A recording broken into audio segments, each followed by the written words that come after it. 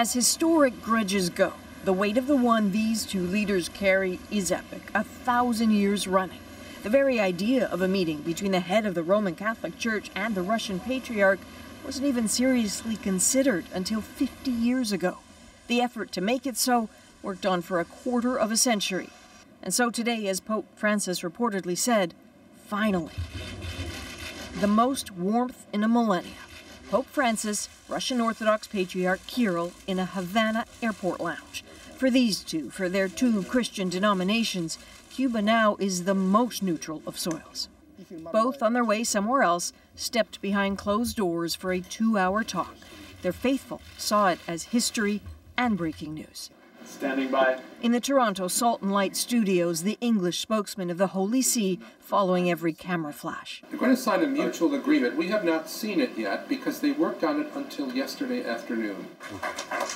Religious leaders talking of peace now because of violence.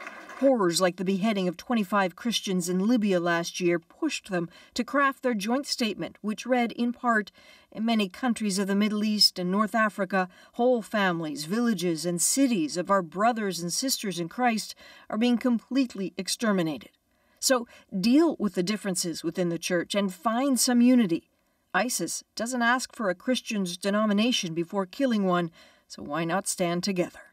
It was an open discussion, maintained the Russian patriarch, and that is what their followers wanted to hear. But remember, there are other strategies at work.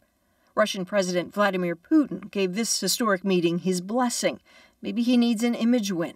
Maybe it's a chance for more global influence.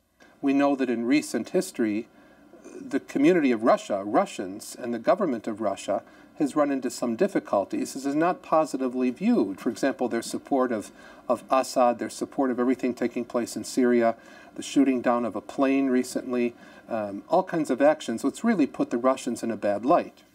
You cannot detach politics from this process, so some will continue to be leery. But for a thousand year schism, a day like this is still a treasure. Adrienne Arsenault, CBC News, Toronto.